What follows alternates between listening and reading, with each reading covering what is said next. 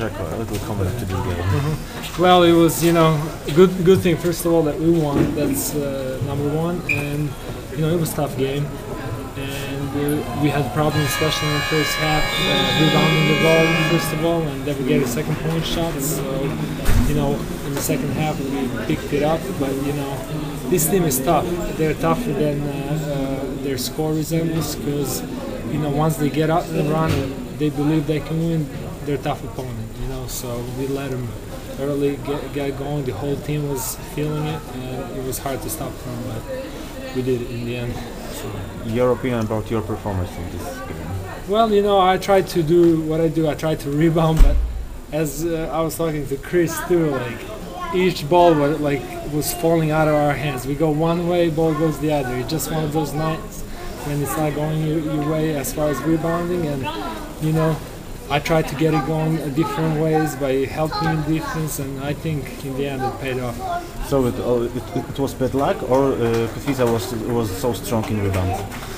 No, they were strong. Like uh, uh, ball was just kind of coming to him. It, it was, you know, it was to the point where, you know, halfway through you realize it's just not your, you know, not our night. Like, we do everything we're supposed to, box out. whatever, We do that in practice too, and you know, it just ball didn't fall our way. So.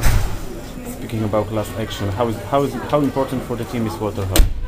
he's the our motor like the main part like he may make us going but the most important thing is that we learn from previous games we made some mistakes when we lost uh, two games you know by one to two row and to Koszalin we, we learned from it and now like at the end we, we got the ball to Hodge who was feeling good you know feeling good about about his game so you know we executed really well got the ball to the best player tonight and you know spread out and just let him do his thing.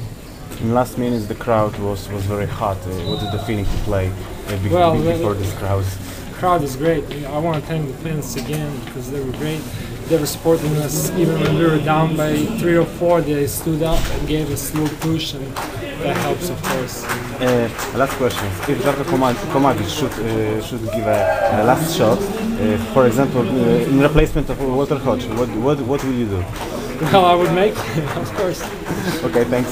Thank you.